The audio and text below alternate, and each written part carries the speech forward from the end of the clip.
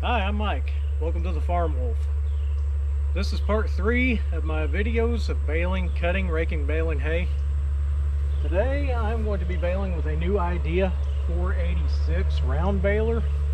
This is a soft center core baler or an open chamber baler. Now what that means is some round balers have belts that go all around the rollers and when the hay gets picked up by the pickup reel out of the windrow.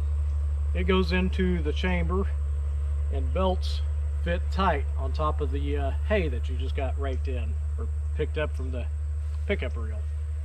The belts are tight on it after it gets built up so much the bale starts turning and it's got constant pressure on it. And as the bale gets bigger the belts and the rollers move but they keep a constant tension on the bales and you can tell that type of bale when you look at them they just look like a spiral. A soft center core or an open chamber baler the belts are just they're in this configuration all the time. They don't move. When you put the hay into the baler it starts turning around and it flops around. And then as the bale gets bigger that's when it starts tightening up. The bale gets tighter. The outside of the bale will get tight and you can tell if it's a soft center core or an open chamber bale by the side of it it will have kind of a star pattern. It's kind of a goofy looking shape. Until you get to the outside and it's got that spiral shape. This is the head. You pull this pin here. Well actually you raise it up. I don't know if I can do this one-handed or not. Pull the pin. And you can drop drop the head to the ground. Sorry about the shadow there. The teeth here, when the baler's running, they go this direction. They pull the hay up out of the windrow. It goes up inside into the chamber, and that's where it starts spinning and making the bale. This uh, baler has a monitor on it, which is in the cab of the tractor. It has a buzzer, which a buzzer and a light that goes off and lets you know when the bale is ready to be tied off. On this particular baler, I have to ignore that buzzer and light because if I kick it out when it goes off, the bale is not heavy enough, it's not tight. So I have to watch my tractor and my tractor RPMs. When my tractor bogs down around two or 300 RPMs, I know it's time to tie the bale off. This baler has an electric tie, which is what these arms are for. String comes out, goes through these tubes, comes down. When you hit an electric button on the monitor, it allows these arms to come down. The twine goes down to the hay. I usually pull up, grab some hay to catch the strings, starts wrapping around the baler. It starts from the center and goes out. I usually come back in and I go out again. I bring it back up, it cuts it, I kick it out. This baler is a thousand RPM. I don't have the uh, other end of the drive shaft right now. It's in my barn. This is the drive shaft, goes to a gearbox. It runs everything. It has several chains, bearings. This part right here is the tailgate. When I get the bale made, I'll open the tailgate. It'll automatically spit the bale out. This is a back side of the baler. And the other side.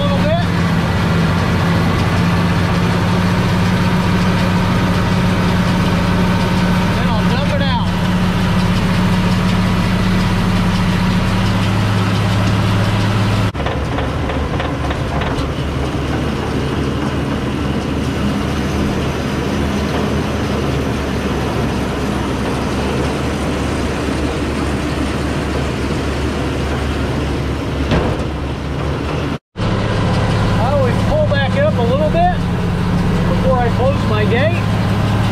That way there's no chance to get my gate caught on the bale that I just kicked out.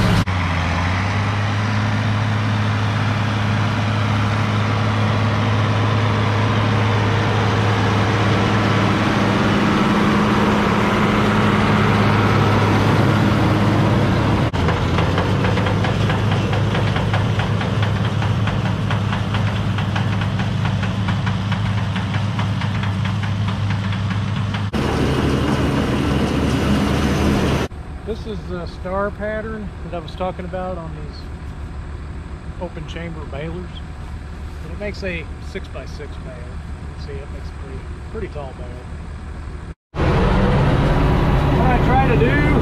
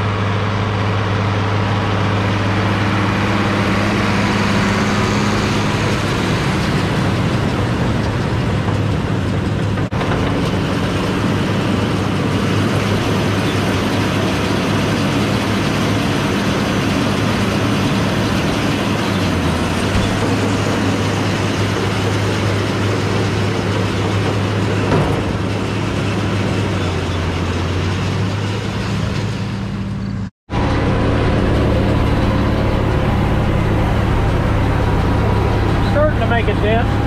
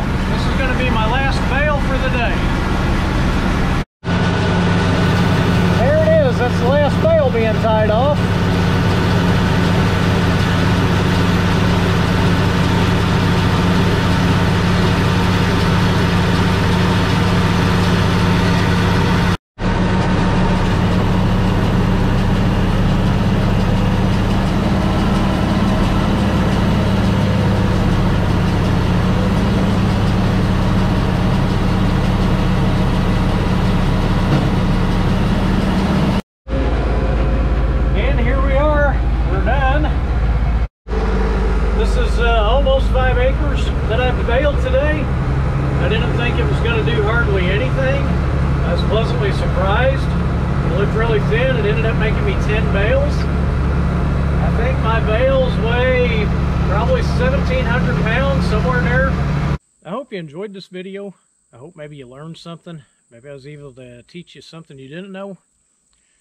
Um, there's a lot of stuff in my video that I got to thinking about and I probably didn't cover because I've got it up here, but when it comes to putting it on film, I think about it and I, I probably didn't put a lot of stuff in. So if you have any questions, comments, go ahead and put them in the comment section. I'll answer them. You know, if there's something that you're curious about that I didn't answer, and I wanted to cover a couple things. Um, one of the video shots that I took when I dumped the bale out the back of the baler. My baler is kind of making a clunking noise and I wanted everybody to know if you hear that, a lot of people are going to think it's a bearing. I thought that. I've had this baler for about 12 years. It's done it ever since I've had it. I've checked all the bearings, everything's tight. I don't know what's making that noise. If you have any ideas, feel free to put them in the comment section. Also, if you watch the first part of this series, there, there's going to be three videos. When I cut the hay, when I was raking it, and then turned my little boy loose on the rake, and then this video when I baled it. My conditioner, I've noticed it makes a clanging noise also, and it just does it periodically. Same thing, I got the baler and the conditioner at the same time, had them both 12 years, and I, to this day, don't know what makes the clanging noise on my hay conditioner. So if you got any ideas on that, let me know. I've, the same thing, I've checked all the bearings, everything's tight. So it's one of those weird mysteries. Hope you liked the video. This is the Farm Wolf. Thank you for being here, and I'm Mike. Have a good day.